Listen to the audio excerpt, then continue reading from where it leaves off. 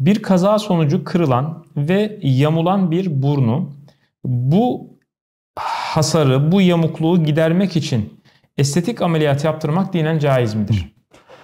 Ee, şimdi soru hocam estetik ameliyat Evet. yapılması caiz mi? Hı hı. Tabii bundan evvela şunun açıklanması gerekir. İslam fıkhına göre estetik ameliyatı tam olarak nedir? Hı hı. Veya İslam bu yönüyle nelere e, müdahaleye müsaade etmektedir? Ee, Ayet-i Kerime'de biliyorsunuz şeytan Mevla Teala isyan ettiği zaman ne şekilde isyanı? Ve le amurannahum ve le yugayyirun halqallah. Evet. Ben onlara şerri vesvese edeceğim ve onlar da Allah'ın yaratmış olduğu fıtrata müdahale edecekler. Hı hı. Mevla diyelim kadına bir fıtrat takdir etmiştir. Erkeğe bir fıtrat takdir etmiştir. Yaşamış olduğumuz sapkın dönemde birileri LGBT ile onunla bununla bu Allah'ın takdir etmiş olduğu fıtratlarla ne yapmaya çalışıyorlar? Onların DNA'sıyla oynamaya çalışıyorlar. Evet.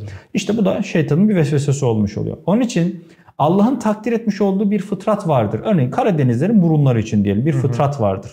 Veya bir kişinin boyu için bir fıtratı vardır. Bunu Mevla Teala takdir etmiştir. Hı hı. O takdir edilene bu yönüyle herhangi bir şekilde müdahale dinen caiz değildir, haramdır.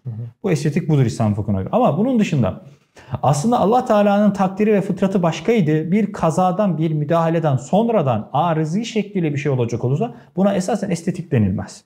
Buna nedir? Bu yönüyle aslına rucu denilmiş olur. Böyle bir şey müdahale, fetva verilmektedir. Ama burada kardeşlerimizin çoğunun düştüğü hata biraz şu oluyor. Ona da dikkat edilsin. Ya zaten doktor ameliyata başlayacak biraz da güzelleştirsin.